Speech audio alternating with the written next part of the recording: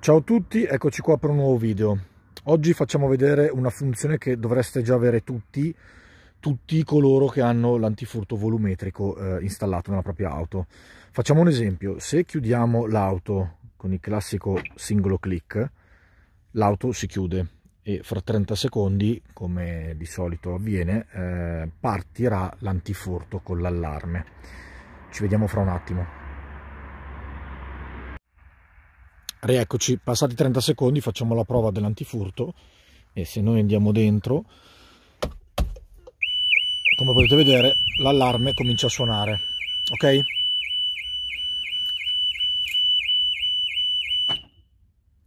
Questo è il classico funzionamento.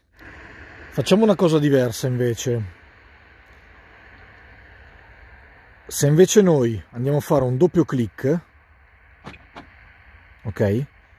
In questo modo noi andiamo a disattivare i sensori volumetrici solo per questa particolare chiusura, non per sempre, perché il flag dentro la radio è sempre spuntato con antifurto volumetrico attivo, quindi solo per questa chiusura i sensori eh, saranno spenti.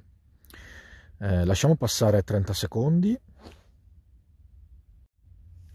Passati 30 secondi andiamo a vedere che i sensori volumetrici non fanno più scattare l'antifurto come vedete prima subito è suonata adesso non suona più. E la macchina è ovviamente chiusa ok? Però cosa è cambiato? Che eh, possiamo tenere giù un pochino i finestrini magari a mezz'aria. Possiamo tenere il tettuccio aperto quindi se entrano mosco o qualsiasi insetto di fatto non suoneranno.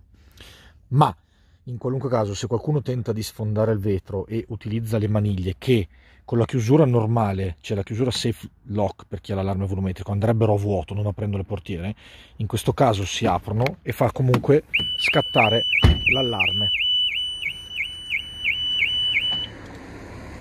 Se giro il quadro,